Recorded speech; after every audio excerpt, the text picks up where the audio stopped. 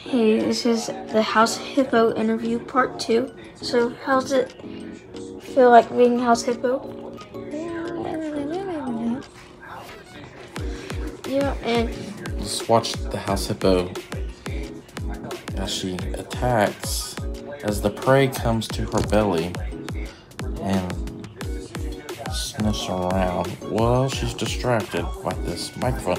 But as you see, she starts to sniff and look, but she still doesn't know yet. Now, as she falls back on her back, she knows she's in distress. What is she gonna do? She's worried about the microphone and not the not the angry fingers that are getting her belly. And she rolls over, and it's she's uh oh.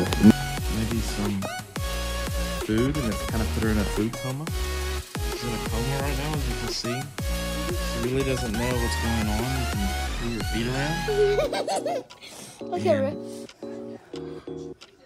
It's like A rotisserie Kind chicken. of like after you eat Thanksgiving turkey and you kind of get sleepy. That's what happens to her when she eats her Shebas. And she's just, uh, just, uh, oh, whoa, she might be coming out of it. Oh, something's happening. She's, look at this. The tail's moving faster. Oh. She used to dance at Coco Bongos a long time ago. But she gained too much weight and kicked her out. Oh! Watch her. She's gonna do a leap.